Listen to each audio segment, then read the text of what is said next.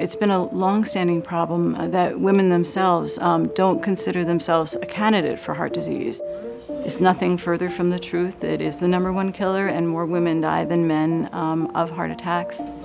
Cardiovascular diseases are composed of um, many different uh, potential problems. The most common one is uh, coronary artery disease, um, which basically means a blockage in an artery that supplies the muscle of the heart. The um, typical cardiac symptoms are chest discomfort or pressure, sort of like an elephant sitting on your chest. Often it's associated with shortness of breath or nausea or palpitations. Chest discomfort is the number one symptom of a heart attack in both men and women. Um, atypical symptoms are somewhat more common in women, um, where you can get chest discomfort that occurs with emotional stress or chest discomfort that wakes you up in the middle of the night.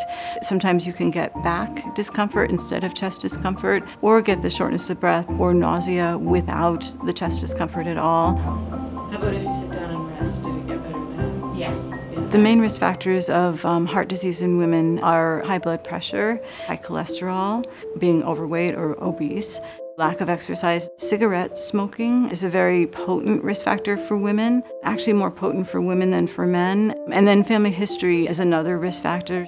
Diabetes is not actually considered a risk factor, it's considered a coronary artery disease equivalent. So if someone has diabetes, we assume that they have underlying coronary artery disease. And people with diabetes um, get taken very seriously when they complain of chest discomfort.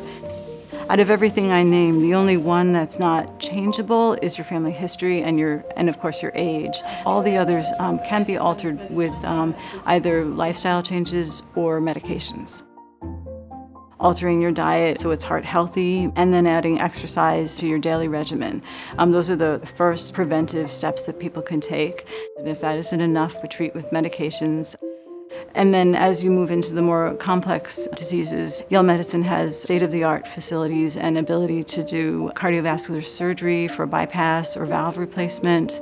We have pretty much everything available that uh, one would want to be able to treat heart disease.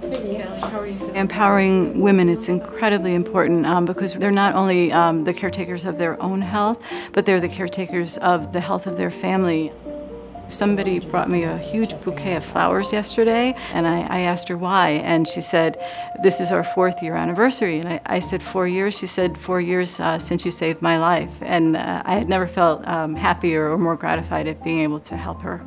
I'm Dr. Lisa Freed, Director of the Women's Heart and Vascular Program at Yale Medicine.